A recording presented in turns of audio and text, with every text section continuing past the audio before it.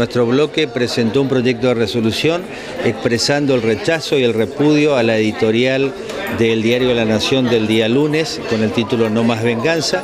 eh, entendiendo que la misma es eh, un acto eh, en contra de la democracia que busca la impunidad de los genocidas y que esta expresión pública es casi una apología del delito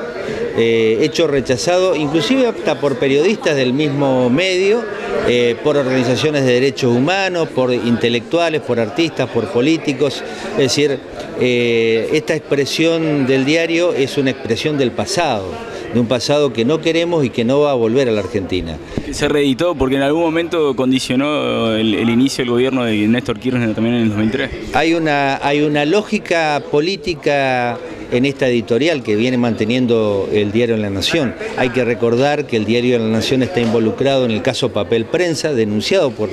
por nuestro gobierno nacional, eh, y que tiene relaciones eh, amplias, conocidas y profundas con la dictadura cívico-militar. Por lo, tanto, no queremos que esto sea un hecho aislado, ha sido política del diario La Nación siempre eh, en relación con la dictadura y después la complicidad para buscar la impunidad de los genocidas. La provincial, a partir del proyecto de resolución del bloque Frente Grande y a la cual se suman iniciativas del diputado Sotelo y del diputado Carlos Martínez, ha consensuado una expresión unánime de rechazo, de repudio a esta editorial, eh, que además fue aprobado por unanimidad de todos los bloques presentes.